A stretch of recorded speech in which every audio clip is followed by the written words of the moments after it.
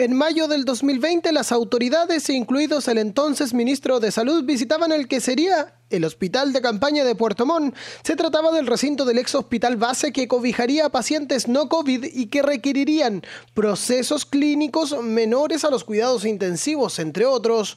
Pero ahora los funcionarios salieron con lienzos y carteles a las calles a dar cuenta de los despidos masivos que se registrarían a los funcionarios que son a honorarios que recordemos con el fin del estado de excepción quedarían sin un sueldo. A ello se suma la disminución de camas que de 90 bajarían a poco más de 50.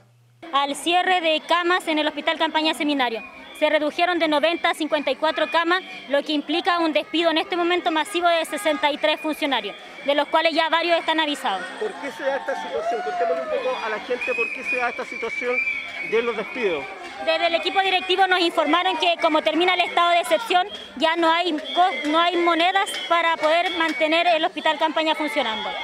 ¿Qué es lo que están solicitando ustedes básicamente?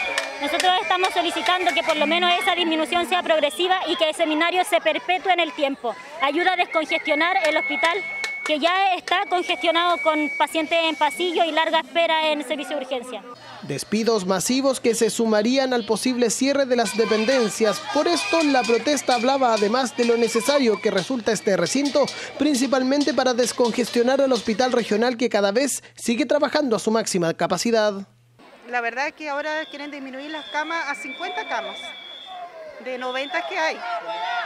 Eh, los despidos masivos serán a la mitad más o menos, eh, los que están funcionando como, eh, o sea, kinesiólogo, enfermera y TENS, que son todos, la mayoría honorarios.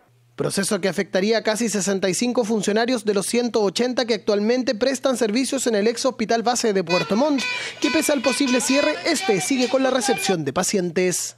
Sentimos que el hospital de seminario se abrió en su primera instancia para descongestionar en este proceso de pandemia por el que pasamos este año y medio y sirvió para descongestionar bastante el HPM. Ahora nos van a cerrar camas, la mitad de las camas, y obviamente sentimos que es un, despropósito, por así decirlo, para la comunidad. Tenemos infraestructura que que es nueva, tenemos camas que están nuevas que van a quedar ahí sin, sin ser ocupadas. Entonces, eh, eso conlleva eh, más que nada que interrumpa la calidad de la atención de los usuarios, de los pacientes que están en listas de espera. Tenemos actualmente pacientes hospitalizados en pasillo, en HPM, porque no hay camas disponibles arriba y aún así nos van a, a nosotros disminuir la cantidad de camas.